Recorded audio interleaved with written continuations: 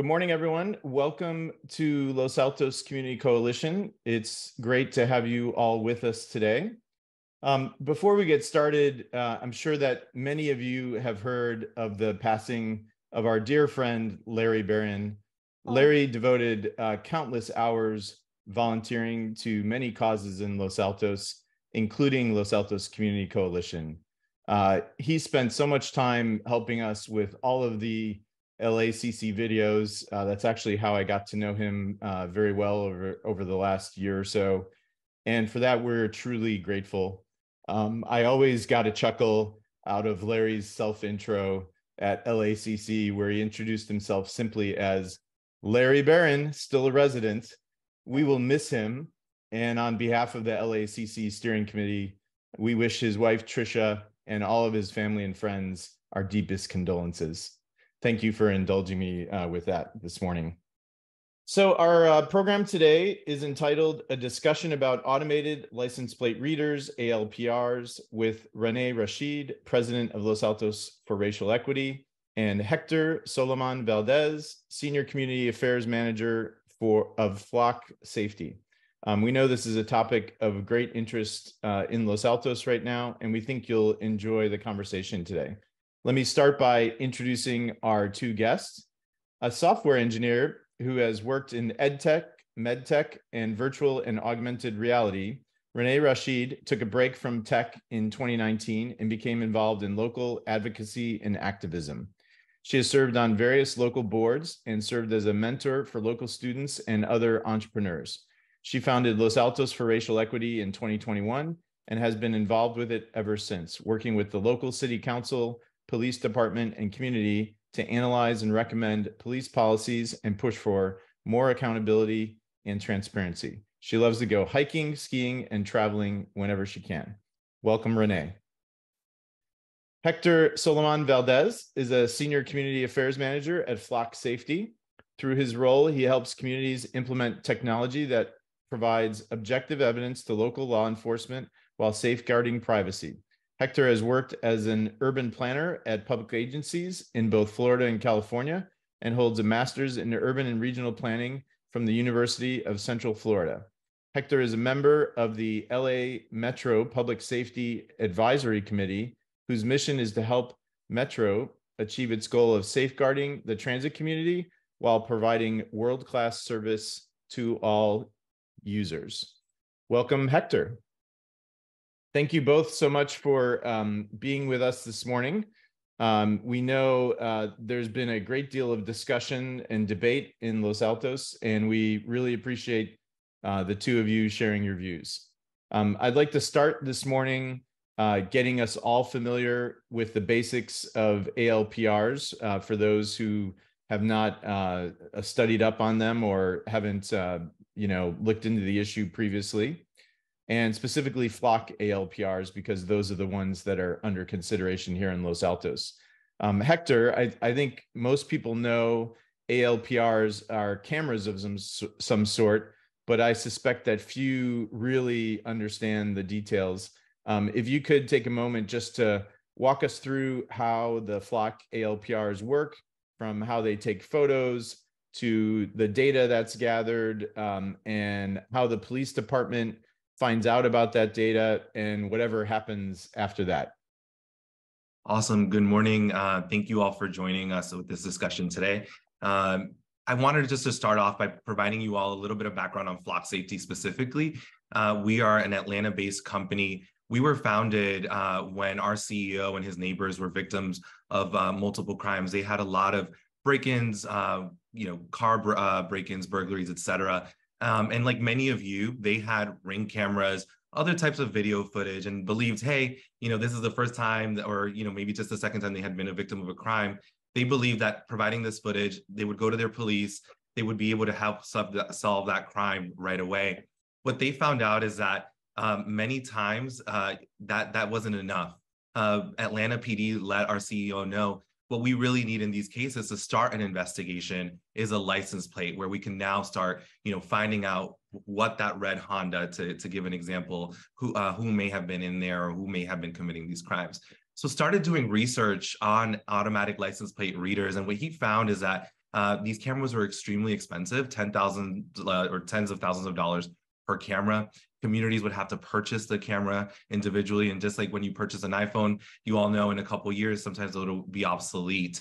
And so set out to build um, a, a, software as a service type model uh, where we uh, main, install the cameras, uh, maintain the cameras, and provide all of the service associated with that.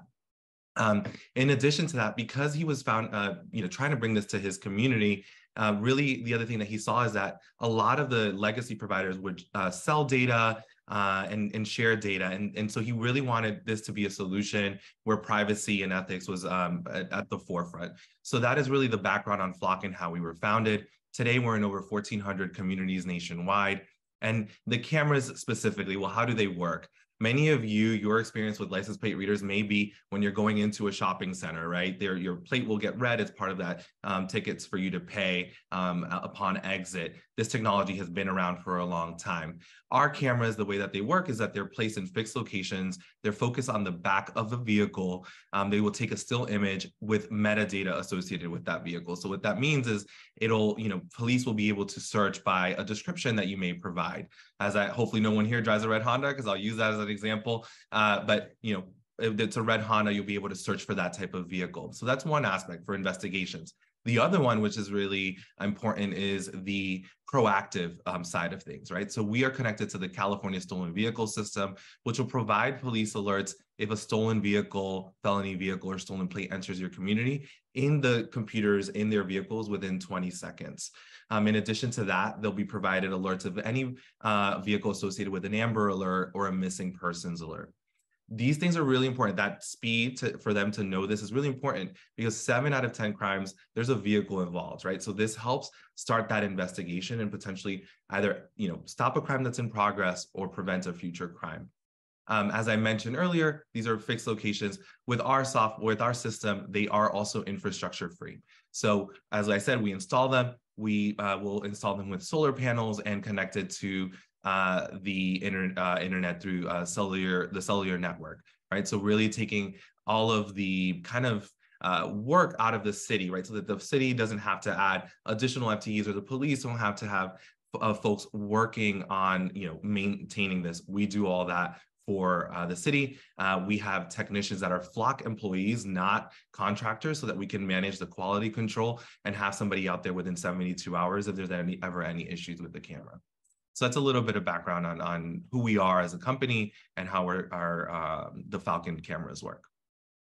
Great, thank you. And if I could just follow up, um, so once once the photo is taken and and there's a license plate or there's no plate or like whatever the situation is, what what happens with that data? Like you know, I imagine it goes off to the police department somehow.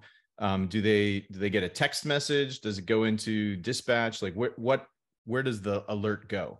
That's a great question. So, as I mentioned, there's two facets that we're really going to hone in on today, which is the investigative purposes, right? If a vehicle um, is scanned, you know, a vehicle passes by the camera, an image will be taken of that vehicle with the metadata. If for whatever reason there's a need, to, there's an investigation, right, um, which is, which requires a case number. So that's something that's really important to note with our system. Police have to have a case number. They will put that into the system. They will then find results um, so it's at the Amazon Web Server government cloud. So it's encrypted there, right? At that point, they can assess it. They can see, you know, use that for their investigations.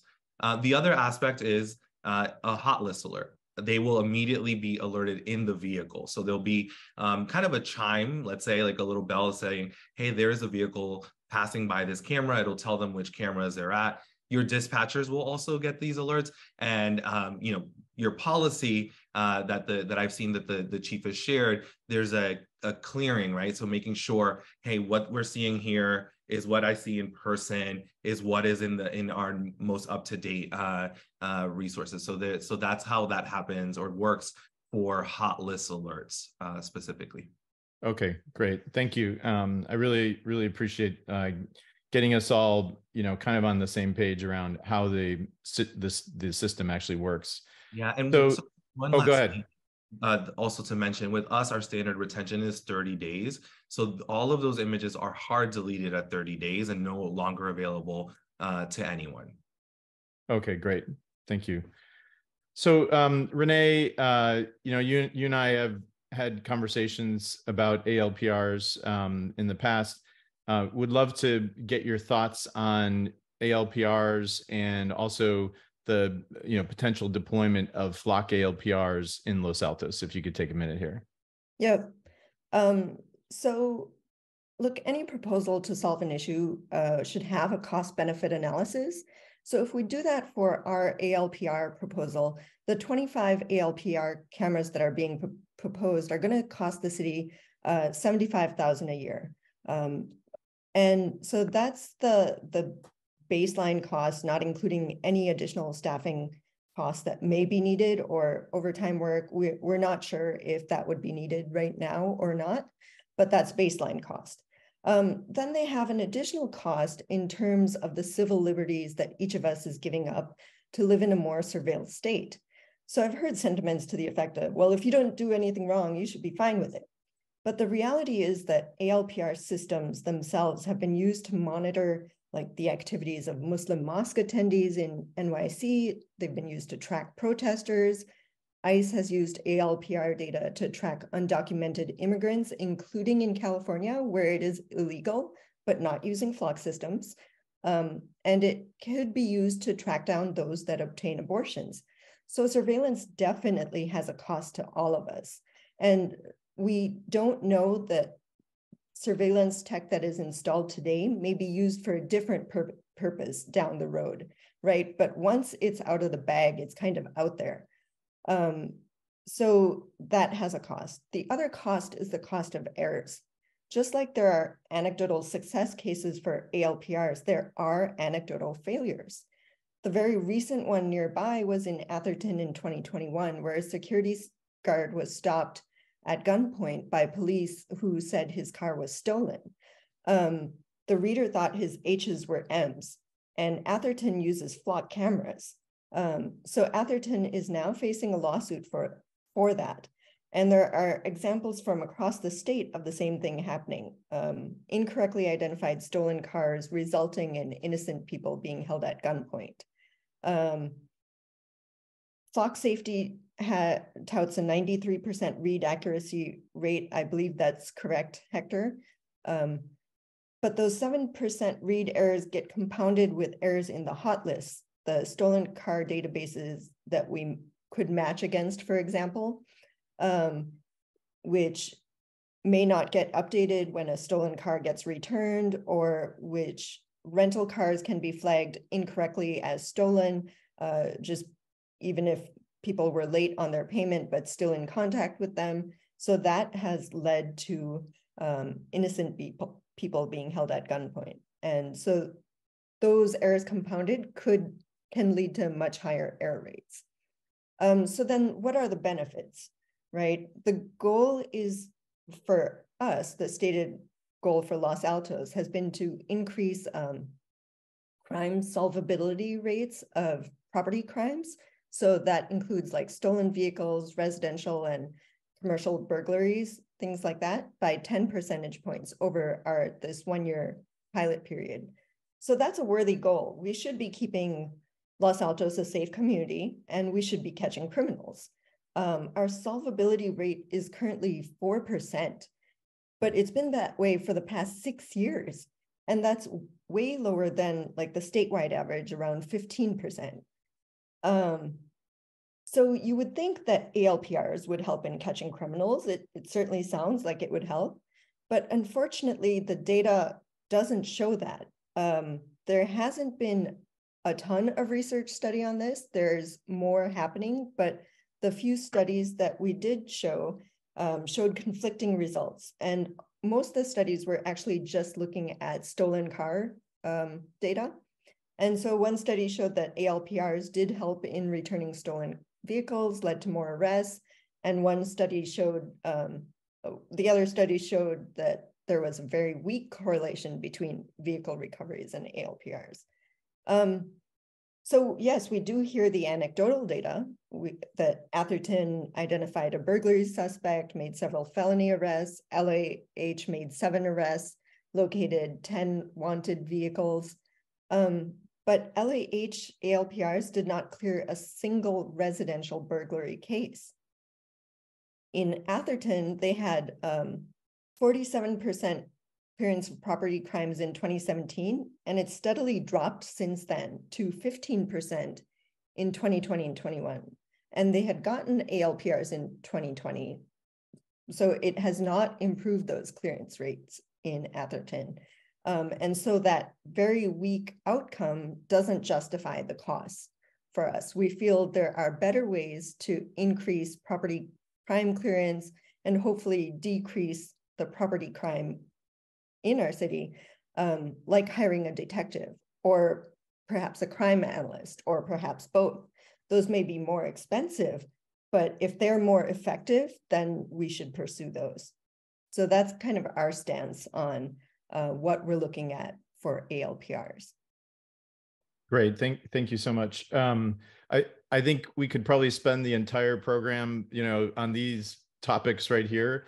Uh, I'm going to move us on to the next question, Hector. If there's anything specific you want to cover uh, with regards to Renee's comments, you know, feel feel free as well. But um, uh, you know, I think you know that Los Altos Hills just uh, completed their one re year review of the flock system. And for those who aren't aware, according to the staff report, there were five cases where the ALPR system helped to solve an open case, seven arrests, and 10 wanted vehicles, but no residential burglary cases um, were solved by the ALPR system, from what I understand. Um, in one case, a wanted vehicle had burglary tools in it. So it's possible that that person was cruising around, you know, trying to find a place to uh, to rob. Uh, so it's it's possible that that was prevented. But you know, it brings up the question around uh, metrics. And what I wanted to ask you, Hector, was um, what what do you and or Flock feel is the best metric to judge ALPR success with? And do you view Los Altos Hills as a successful deployment after their one year uh, having done so? Yeah, thank you for the question. So you know, I think it's really important to to note that Los Altos Hills and Los Altos, for example, have a completely different setup, and it's really hard to, you know, it's an apples to oranges type of comparison, and that's for several reasons. In Los Altos, um, you have many more full-time residents, right? So that really does impact in the way you know crimes are reported, the way that policing is done. It's also that there's different geography, there's different setup as far as commercial properties which have different crimes associated with them, right? So there's going to be different metrics there. And I, I start kind of off with that is that success looks different for different communities. Um, as far as uh, when when Los Altos uh, itself is, you know, there is a need or there's been a stated need from the, the business community and also residents to solve crime using this. And what we see, I work with communities um, nationwide, is that councils and, and the community will set out to measure the success if it's a pilot project as as being proposed in Los Altos by saying, well, how much, how many dollars are we um, bring, you know, uh, uh, getting back in stolen goods, for example. So measuring dollar amounts, um, how many stolen vehicles, how many crimes are, I mean, guns and, and, and drugs are taken off the street. That's one way to measure things. The other thing that we see is that there's an immeasurable uh, uh side to this. One is um, an Amber Alert or a stolen or excuse me, a missing or endangered elderly person. There's those type of stories are measured differently because you can't really quantify them um, using dollars. So you'll kind of see that communities will will measure um, at the end of their uh, program in that way. And I do know that the chief has also wanted to put as very specific numbers to types of crimes. And I think that that is a good uh, way to measure things as well um, because she's honing in on things that she feels as your chief with the information that she knows that that that these can this technology can make an impact on. Um, additionally, you know there is that deterrence factor. It's as you mentioned in the Los Altos Hills case, for example, um, there is a vehicle that had tools in it that were going to potentially commit a crime. It's really hard. You can't really measure what that crime that was prevented. Um, uh, you know what what cost to society that would have been. So those are the things that we as see as, as ways to, to measure crime. I can tell you in San Marino, they they reported an over 70% drop in their um, home burglaries, right? And so I th- I see them as a little bit more relating to you all having again a very uh, people that live there. These are not second homes. Uh, lots that are some more similar, also having commercial areas. So Uh, just really important to note those things. And then wanted to go back to the Atherton case too. As you see, they are um, also, you know, seeing a lot of success and Los Altos Hills is seeing success and it looks different there. Um, but the technology is working as intended, right? It's solving different crimes. It is providing a stopgap, as as Renee mentioned, making sure you know that hits are validated. What we do is um, we provide a probability rate to police police officers, right? A triangle that says, "Hey, take a look at this. This may be reduced uh, probability here, et cetera." Um, but then there's uh, having good policy, right? So the policy, making sure that you have a visual that you're seeing that. And then in those specific cases in Atherton, making sure that you still are protecting that person, giving them the due process. Um, but in, in that case, it was actually not the machine learning. Um, it was a, a, plate that was so completely covered with mud that the human eye also, um, you know, made that error. So it was impossible. And we have to remember in the state of California, having an obstructed plate is something um, that is also against the law. Um, and so, you know, there's the human verification that's really important that did occur in, in that situation. Um, and so we just want to mention, obviously, kind of show that this is a very complex issue, but having a system that is as accurate as possible tied to um, having, uh, you know, police uh, do their due diligence is, is what's really important. Great, thank you. Um, Renee, um, if you you've already shared a, few thoughts on Los Altos Hills, but if you could um, comment on that as well as the the best metric to judge ALPR success. Right, sure. Um, so I think like Los Altos Hills is very telling on what happens with pilot projects. Um, the initial goals for LAH to install ALPRs was to deter crime and help create a safer environment. So it's a bit vague, right? Um, but based on their data, uh, residential burglaries in 2022, which is after they had ALPRs, hit an all-time high of 51, um, compared to their 10-year average about 50, 25 per year. So did the ALPRs help deter crime? It doesn't look like it, but yet it still got renewed. Um, right. So once you have a tool for a pilot, the argument for if you have data to support it becomes, hey, look, the tool works. But the argument for not having the data to support it. Well, uh, imagine what would have happened if we didn't have it, or well, it makes us feel better, um, or the goalposts change along the way. So I think we need to be very careful about pilot projects and to really make sure it's what we want long term, because I think it's hard to discontinue um, pilots, right, with or without data to support it. Um, and so we do need to be very careful looking at these metrics because the variation in year over year crime data is very noisy, right? It has ups and downs.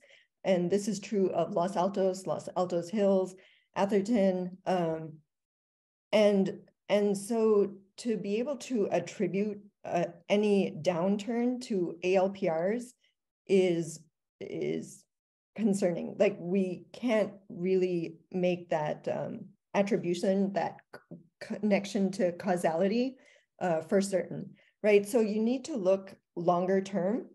And so, so what you want um, with metrics is usually you want to align your metrics with the goals you want to achieve and not look at not what are the achievable targets with this technology, right? So what are our actual goals? We want to reduce property crime in Los Altos. So then we should measure if we can reduce the rate of property crime measured with perhaps a six month rolling average to reduce that noise in the data. And then secondly, I think we do want to increase our solvability rate of property crime. So again, the solvability rate as, as proposed um, to increase, uh, I think it was 10 percentage points over this one year pilot period um, would be a, a good metric. Um, and then we should be analyzing at the end of the pilot to see if it really met, um, helped us in achieving those goals.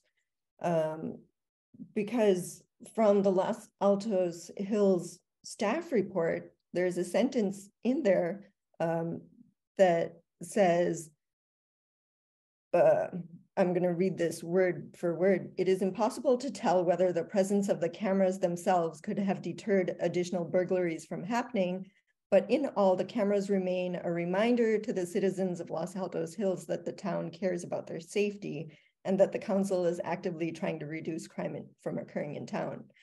So LAH is spending $177,000 to show that they care, not because it was an effective tool. Um, that doesn't seem like a very good spend. So um, I think, yeah, I went over the metrics that I think would be best for us, but we should be make sure we should make sure we're meeting those metrics. Great, thank you. Um, all right, we're gonna move on to the next question. Um, and Hector, I'm sorry for throwing these uh, these uh, somewhat difficult questions toward you, but uh, I think I think it's it's the best way to do this. So uh, we talked a little bit about um, 2022, still in the pandemic, you know, coming out of it, uh, partway, halfway, who knows. Um, but you know, in 2022, crime rose in Los Altos Hills, but dropped in Atherton. And both are cities that have deployed flock systems. Um, I, have actually had conversations with a number of people who are here today um, and learned that um, you know some believe that it was the police response time of roughly 13 minutes in Los Altos Hills versus 2.5 minutes in Atherton that has something to do with the difference in crime. Um, others say ALPRs have a deterrent effect, but as we've discussed, you know, it's it's hard to quantify this. You can't really A/B test with you know cameras and no cameras at the same time. Um, could you share your thoughts on the impact of police response time? And I have to admit, I I don't know what Los Altos um, police response time is and the um, potential deterrent effect that we've been talking about.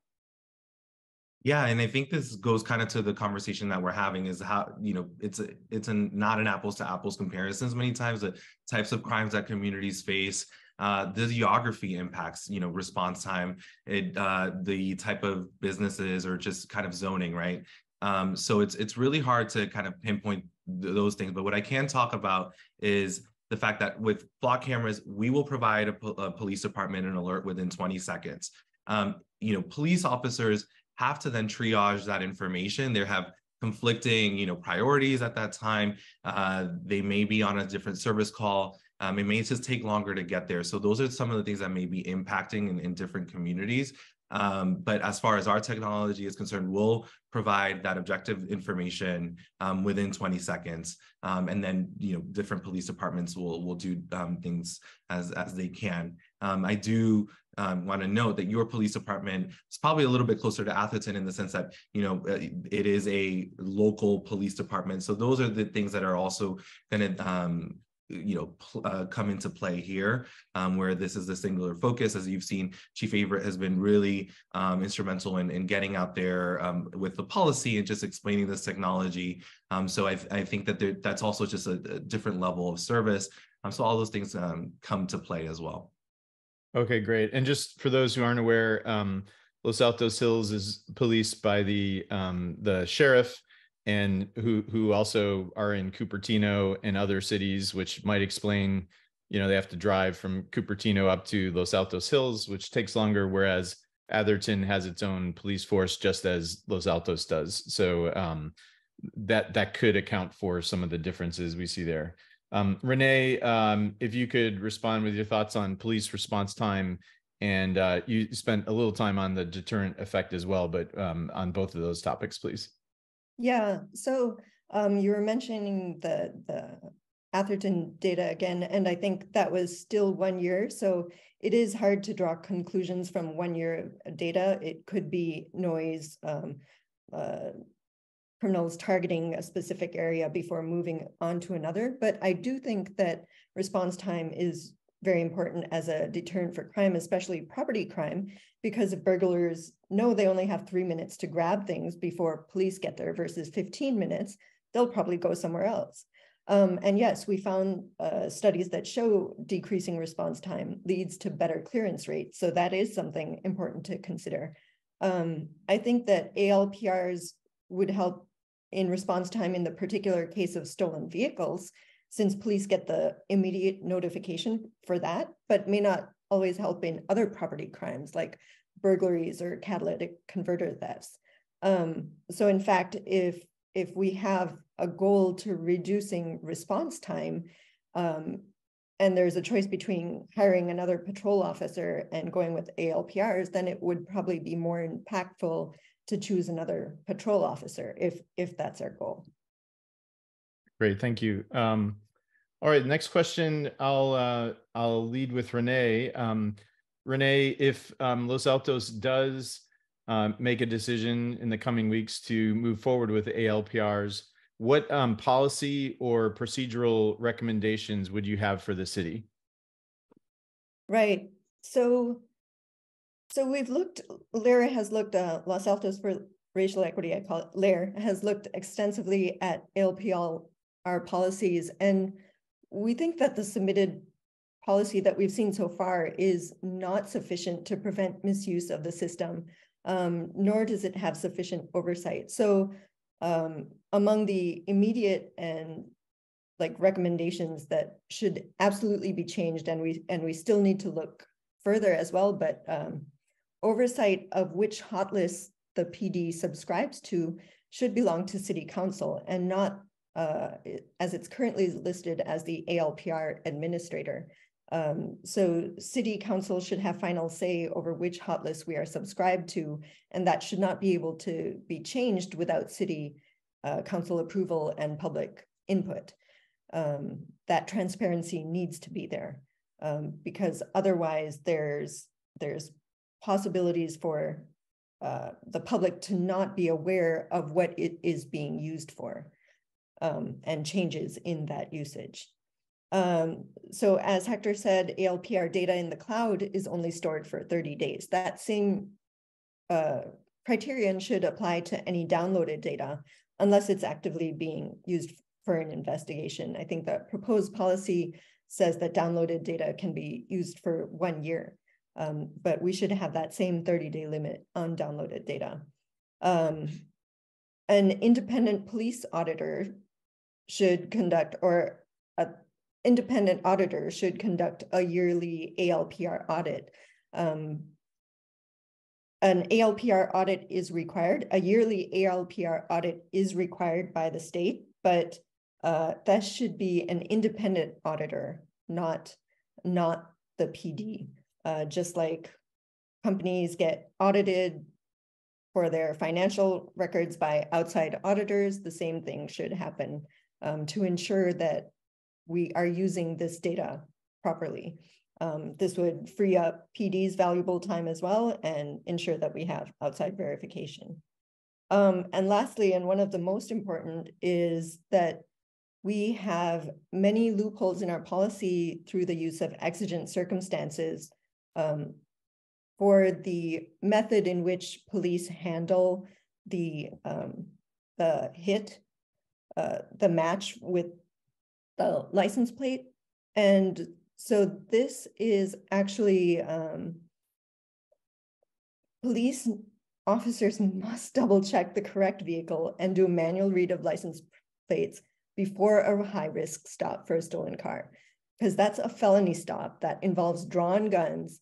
Um, and because of the high error rates, this is this just reliance on an ALPR hit um, to justify these traffic stops can be challenged in court unless the ALPR hit is confirmed by other means. And this is supported by case law in California, um, San Francisco, San Francisco um, had a lawsuit, and this was confirmed by case, case law that before doing that stop, officers must do that. So there's no exigency case, right?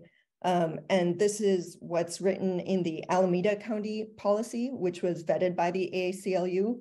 Um, there is no exigency case. Either you are able to verify or you don't make the stop. And we still have these exigency cases that lead to lawsuits and we just cannot have that. So those are four examples, um, but there could be more analysis. Like if we decide to go this down this path, then I think we need to look at the policy carefully. Great, thank you. Uh, Hector, any thoughts on uh, policy or procedural recommendations? Yeah, um, I definitely, will definitely want to say, I think one of the, the things that I see is um, really effective is when a police department does this level of engagement. We work with departments all over the country, and sometimes you know it's it's not something that's done right, and so that's why we definitely you know support this. Um, having organizations such as Renee's um, be involved and, and providing input into the policy that helps make sure that the the, the you know eventual policy reflects the community's uh, values. So that's to start off. The second thing is um, making sure that the system provides transparency um, automatically. So with Flock Safety, we have the transparency portal, which I think Renee made a really good point is like, hey, this is the stated goal today what is being done in the future, right? And so with the Flock Transparency Portal, you will see who your department is sharing with. You will see what their policy is, if any changes have been made, what they're searching, et cetera.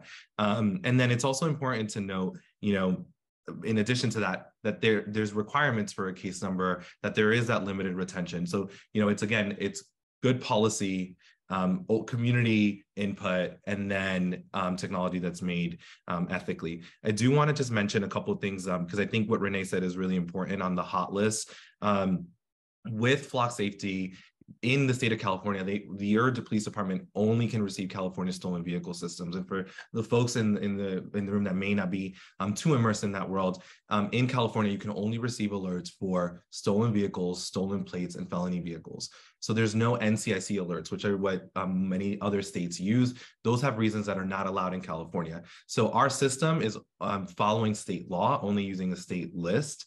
Um, and the great thing is that we in the state of California, so I think really going into how um, these type of systems are being used, this is probably the most robust state as far as you know oversight into technology. And so um, there is the california's values act sb 54 et cetera that prohibit um, you know sharing of this data with um, immigration enforcement, et cetera. And we follow that by only using state resources, right? And so NCIC alerts, which are used in many other states, do have alerts on immigration violations, et cetera. And so that pre prevents that from ever happening. Um, and it, it's just not available in the system. Um, and then as far as data and that's downloaded, I think that's a really good point. What I've seen in, in the policy, where I understand that to be is that, you know, if it's a part of an ongoing investigation, that is when the data can be downloaded. It then follows that chain of custody, for lack of a better word, for um, other um, investigations that are ongoing. Um, and some do have a longer retention, right? Depending on, hey, is this a violent crime? That may have a longer retention. So you want to have that flexibility that it, it is taking that data or that footage, that evidence is is is tied to the type of crime and the type of investigation and so that you know it's really important to to have that oversight provide those um the you know community values and then just making sure that it matches also with the the reality of policing and, and how it's done effectively and so those are just things that we you know again i work with departments all west of the Mississippi, which includes you know states as Texas um, and Illinois. And well, Illinois is not west of the Mississippi, but I do work with them. And so, just want to mention like th- those are some of the differences and and some of the benefits in, that we have in California. Great, thank you, Hector. Um, we're we're running a little over here, um, but I want to give you both a chance for just some brief closing remarks, um, and then we'll get to the questions. Uh, Hector, um, if you could share your closing thoughts or remarks, please. Yeah, I think uh, you know, as I mentioned at the beginning, Flock Safety um, is a company that has been founded to provide technology to police that's objective or evidence that's objective um, while at the same time being the industry leader um, when it comes to ethics, um, limited privacy, ensuring that you as a community have a way to to see what work is being done through the transparency portal. And so we're really proud of that. And also just really proud of uh, to be honest of, of, your community. I've talked to LAIR before. I've talked to different folks and just the work that the chief has been doing. So i think that that's really important. I think that this discussion and making sure that people really are aware of like hey what is being done and provide input um, not just today but just in the future. And i think one of the great benefits is that you do have a department you know that is doing a lot of outreach. And so I commend you all with that. And we're excited to um, hopefully be able to partner um, with your city. And we're really proud of all of the cases that we help close every single day um, throughout the, the United States with our law enforcement partners. Great, thank you. Uh, Renee, any closing thoughts or remarks? Yeah, I'll just keep it brief. Um, we want Los Altos to be a safe community rather ju- than just feel like a safe community. So let's use our limited budget money wisely and invest in ways that actually do that. Thank you so much. And I want to I want to share one thought, which was um, I was asked this week why Chief Averett was not part of the panel, and uh, I've seen Chief now two days in a row. Um, I know she's out in the community all the time. We had just had Chief here um, uh, for a full session on uh, you know welcoming welcoming her to Los Altos, and it was not meant as a slight or anything else. Um, I think we could have a three-hour conversation on ALPRs if we uh, if we wanted to. But um, anyway, I just wanted to address that because it, it came up uh, earlier this week, and uh, and you know I, I think it's great. Thank you so much for joining us today, Chief. Um, so uh, I can tell by the the comments in the chat that we ha- will have lots of questions here. Um, uh, please uh, ask uh, raise your virtual hand, and we'll get to the questions. I checked with Renee and Hector in advance, and they can go a little bit over until around 9:40. So, um, uh, you know, if you could, uh, no speeches, please. I, I think a lot of people want to share a lot of data about various things, but if you have a question for the uh, panel, please raise your hand. And um, you know, I really appreciate the the dialogue back and forth. Um, so, thank you, Renee and Hector, for uh, for that. Um, let me switch over to gallery view for us here. And I see, um, first question I see is from Jim Fenton. Go ahead, Jim. Hi, thank you. This this is actually maybe more of a question for Chief Averett than for the panel, but I'll I'll just throw it out here. Uh, Los Altos has had uh, automated license plate readers for several years, uh, I believe vehicle mounted, and um, but I thought I had heard recently that that we were no longer using them. I was wondering if uh, someone could uh, share information about what our experience has been with them, and if we're not using them, why we aren't. Chief, I don't, I don't know if you want to chime in. Um, I, I, I don't see you on my screen right now, but I think you're here. I'm still here. Can you hear me? Yes, please, please do if you'd like to. Um, go ahead. Yes. Thank you so much. Okay, so I'll try to keep my comments brief. Um, so about uh, nine years ago, uh, we did install um, a license plate reader camera on a vehicle. That technology is very old now. Um, the information was being uh, provided to us by um, um a local or Bay Area intelligence agency.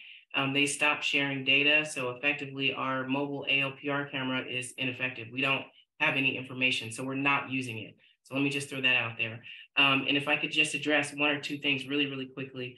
a comment was made earlier about you know just hiring a detective well, I could hire a million detectives, but if they don't have the tools that they need to do their jobs, they're not going to be effective. So we have incredible brain power here in the PD, but we are, have our limits. We need technology to help bring us to the finish line to help solve um, cases. And as far as the error rates are concerned, um, there are currently error rates without ALPR technology. Um, the stolen vehicle system is not fail proof. Sometimes people recover their own stolen vehicles and don't follow up with the police. And, and yes, if the vehicle is still showing stolen in the system, they will be pulled out at gunpoint. That is that is a fact. But that has nothing to do with ALPRs. That's um, you know human error in in that um, respect. And then lastly, there are no additional staff costs uh, for ALPR cameras. Um, what it does is it effectively helps us to manage our resources and gives us um, uh, a better way to be more effective in how we operate in our day-to-day um, uh, crime solving uh, abilities. Thank, thank you so much, Chief. Really appreciate that perspective. Um, let's go to uh, Rajiv. Uh, you have a question?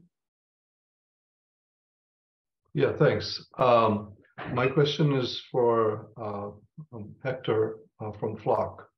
Uh, when we installed ALPR cameras in Los Altos Hills, we saw a significant decline in burglary rates for about two months. After that, as you know, our burglary rates have skyrocketed. They're now four times what they were two years ago. Um, and the reason is that the burglars have figured out that if they come into town with no license plate, no action is taken because your system doesn't notify uh, law enforcement that there's a vehicle, you know, promptly because you don't treat it the same way as a hot list. The second thing is uh, they now go and get a freshly stolen plate, which is not yet in the hot list system, and come into town. So effectively rendering ALPRs useless in those two situations. Um, is Flock going to do something about that? Because currently the 40, 40 plus cameras we have in town are practically worthless given those two problems. Hey, Rajiv. Uh, sorry, I'm here getting a little feedback. Okay, sorry about that. Um, so a couple things there. I think what we mentioned in our discussion is there are very specifics to the types of crimes that, that folks are or different communities are experiencing right? And so i think i saw in the chat kind of uh, a little bit of information on kind of what that specific crime is. Um, and so so it is very specific to to that area. But in addition to that i think you made a really good point which is how do you how is there a way to alert for vehicles without um, license plates we do provide a vehicle alert based on a description um, however there is no statewide list ahead of time that we can pull into right and so as we've had discussions with lair and other folks in this specific community uh, you know it's objective information that we want we need to provide to police, right? This is a vehicle that's been identified as stolen um, because there's a stop that's going to be associated with that. If yeah. the police currently, um, if if they have a, suspe- a, a, suspicion or have been, you know, there's somebody that's reported something and say this is the vehicle, they can put a specific alert on that vehicle type, but there has to be an investigation that commences because there's nothing at there's no statewide list or way. There actually is. Sorry, uh, if you go to winfreycheck.com, uh, it'll tell you for a given license plate what the make and model uh, and year of the vehicle is.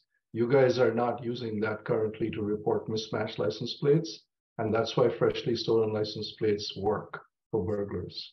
Yeah, and so again, uh, really important to focus on the fact that the state DOJ list you know, this is something that's objective information, that these are related to felonies, not misdemeanors, right? And so it is important, as we've talked about in this discussion, there is a balancing act of ensuring that we're protecting people's liberty, civil liberties, as well as privacy. And so that's the balance that we have to strike. That doesn't mean that that's not a tool that can be developed or that there's ways mm-hmm. around that, right? So that doesn't mean that that's not the, the case. But you know, judging by the discussion here and just with other communities, it seems like, or not, it seems like there is a desire to make sure that this is objective information provided, you know, that is vetted through the, the state DOJ. Yeah.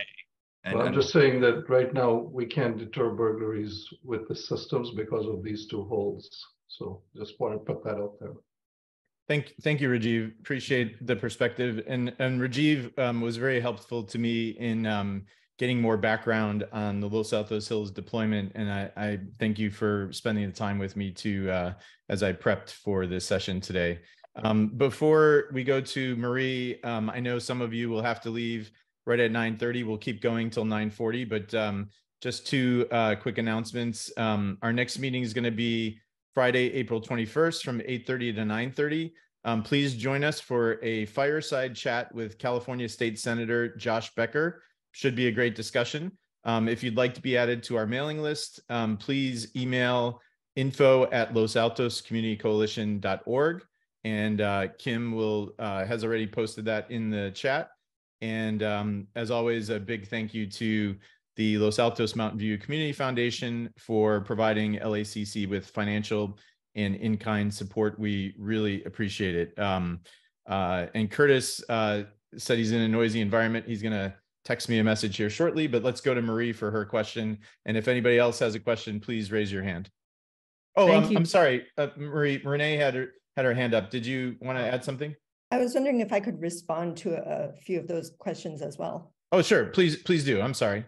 Okay. Um, yeah, so I think, um, so Chief Averett's comment that we're taking away a tool that um, she could use uh, in her arsenal. Um, well, this tool hasn't been shown to be effective. So if you were a gardener and we were taking away your spade to dig, um, I could understand that frustration. But I think I this is more like taking away your toothbrush that you're using to dig. Um, so I don't think it's been an effective tool to do the things we want it to do. And if it was, we would have seen results in our neighbors that were kind of spectacular. Um, and also, yes, errors in the hot list have been there, but when you are getting like a hundred hits a day, those errors are compounded, right? You're scanning hundreds of thousands of plates, um, getting hundreds of hits a day. Those those errors are going to get worse. Um, yeah, thank you. All right, thanks. Sorry, I didn't see you waving your hand there. No, Renee. no there's, worries. There's 30 people on my screen. Um, Marie, we'll go to you, then Curtis, and then I see Janine, and uh, and we'll we'll get to those questions. Okay, thank you. Thank you, Joe. Um, Hector, in your opening remarks, you mentioned that the cameras need cellular slash internet capability um, in order to function properly. Do, do, in Los Altos, there's been a lot of concern about the adequacy of our um, infrastructure in that regard. What do you know about, I mean, do we have the adequate infrastructure to make the, to allow the cameras to work effectively? Yeah, so the way that uh, we uh, create our deployments is that we have um, a deployment specialist actually check uh, what the cellular connectivity is. We work um, with Verizon, T-Mobile, AT&T, so all of the uh, service providers and FirstNet, which uh, which is specifically for law enforcement. Um, and so we'll, depending on the where the location of the camera is, we'll use the best um, cellular network available there, and um, and to make sure that that there's full connectivity. So that would not be Verizon in my experience. So uh, glad, glad So to we'll hear that. find we'll we'll we'll see that. I'll let I'll give folks a note if if we start that then. All right. Yeah, I mean, I think it varies from place to place in town too. So, you know, some places do, really have nothing. I like I can't use my cell phone in this house. Yes, Not exactly. So what we'll do is Not that verify. the data would be coming to me, but you know, still that that's an illustration of the point I'm trying to make. Yep. Yeah, and they'll verify that. And sometimes a couple feet or you know, a couple tens of feet will make a difference in those. So they'll check for which one's best. All right. And Curtis, um, it, it says he's in a noisy background, so he didn't want to um, ask the question. His question is, quote, are ALPR concerns a technology problem or a police trust issue? Imagine if, comma, practically and and the cost aside, comma, a city hired officers to stand on 25 street intersections, looking at every car, writing down license plates, and comparing them against a hot list. Wouldn't bias and error be greater with those humans, or would that be an acceptable and preferred solution? I'm not sure who this question is to, but Renee and Hector, would either of you like to uh, respond? Yeah, I can take that. Um, I think so. There are errors in the plate reading technology. Um, seven percent, I believe, Hector, you have ninety-three percent accuracy, so seven percent read errors. Um, but the bigger concern are the errors in the hot list themselves. So even if you put those 10 police officers on those street corners writing down those plates, the database that you're comparing it against has those errors, right? And um, so there is still that concern. And with the 10 officers, you're going to get maybe 10 plates read per hour. Here, you're reading hundreds, you're reading like hundreds of thousands of plate with automated technology.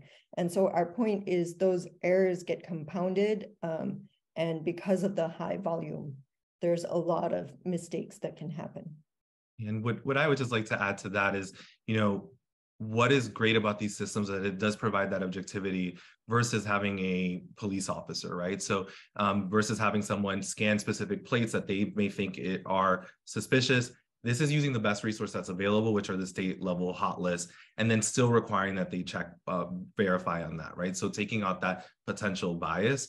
Um, and then also, you know, everything else being really, if it's not used in investigation, set aside and um, hard deleted. So it is about providing the right information at the right time because the information that is on that on those lists, it, these are felony vehicles. Um, you know, these are objectively that's something that is you know a crime. And so it's important for police to follow up and investigate on those. And so that's how we do see success um, nationwide in solving pretty heinous crimes. And then just as we mentioned obviously it's a no-brainer with stolen vehicles but every single day we help solve burglaries, um, kidnappings, um, you know, as I mentioned in San Marino, they have seen a, a significant reduction in, in specifically their burglaries. So um, important to to to weigh all those things because the other side is it it isn't feasible for any city to have a police officer, and I don't think we would want to have police officers at every corner um, from a civil liberties perspective either. And I think I would contest that we have seen those significant reductions due to the ALPRs. So that's where that that difference is. All right, um, Janine. Janine, are, oh, there you go. Hi. Sorry, my system is a little slow. Can you hear me? Am I coming through clearly? Yes, it's a little garbled, but go ahead. Okay, I'll I'll speak slowly. If you turn Um, off video, it'll help the throughput. We'll do that here. Go ahead. My question is to, um, thanks for being here, Hector.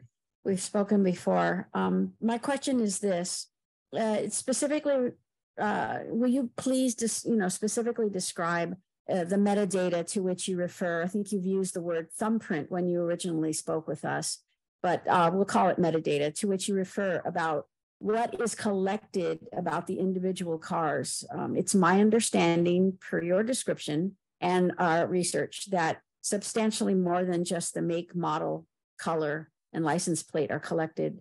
Um, please, you know, be comprehensive um, because significant concerns exist that as the AI learns to correlate a reading with a reaction, i.e. a hit, that more subjective criteria can be applied to triggering a PD response. Thanks. Thank you. Thank you. That's a really important question. So the vehicle fingerprint um, is what we call it at Flock, um, helps the machine learning put that metadata, you know, as, uh, or associate it with the with an image. And so some of the filters are going to include roof rack, uh, bike rack, the color, as we mentioned, the make, the mod, model, um, you know, a specific type of rims. Basically, any information that a witness may be able to provide to police so that they can hone in because sometimes you know they may just they may have a couple of things. They might have said hey it has i just saw that it had a, a roof rack. That's all i saw right? And so um, providing them as many filters as possible is important. Um, to the the point you made about um, information that's that maybe eventually not as objective and um, really the the machine learning is only focusing in on vehicle identifiers. Nothing that is you know uh, hey what does that bumper sticker say right? Nothing that can be used in a different way that's that's objective. Um, more just like it had a bumper sticker, it um, has a roof rack, um, and, and and and things of the sort. I hope that answers your question. Janine, good. Um, well, all I'm saying is the concern is that it it can become subjective very quickly because it, there is a an officer or an analyst that is interpreting that data, and then that can be deployed disproportionately or inequitably. That is the concern that currently exists in, in several lawsuits as well as just general activist organizations. But I, I hear what you said. Thank you. Thank you. Yeah, they would only be used be able to use this as part of a case. Again, everything is tracked, all of their searches, um, and so and there's audits, et cetera. But again, importantly, you know, they have to go down through the investigation and see if, hey, does that match what we're looking for? So, um, but but definitely hear you as well. Well, with that, um, I, I just wanted to call out one response from Chief in the um, in the chat uh, about the Los Altos response time um, being under 10 minutes uh, from the time of call of an officer on scene. And for priority calls, um, it, it, averages under seven minutes. Um, Chief, I'm, I'm not sure what a priority call is. Is that like a active burglary or you know someone's uh, being attacked or something like that? Yeah, those are um, in progress crimes, um, collisions, um, anything involving injury. Um, that's what that uh, is about. Yes. thank you so much, and th- and thank you again for uh, for being here today. So. Uh, I think we went through the announcements, and as I promised these guys, I'm going to get them out of here by 9:40 so they can get on to their next meetings. I just want to say thank you so much to Renee and to Hector for a civil uh, conversation, and also to the rest of the audience. And um, uh, really well done. You guys both advocated for your respective, uh, you know, uh, positions really well. And we just want to thank you so much for taking the time and joining us this morning. Um, and hopefully we'll see uh, everybody else in a couple of weeks for Senator Josh Becker.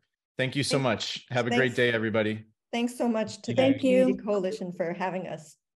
My pleasure. All, our pleasure, I should say. Likewise, and thank you to all of the residents. You guys are great. Thank you.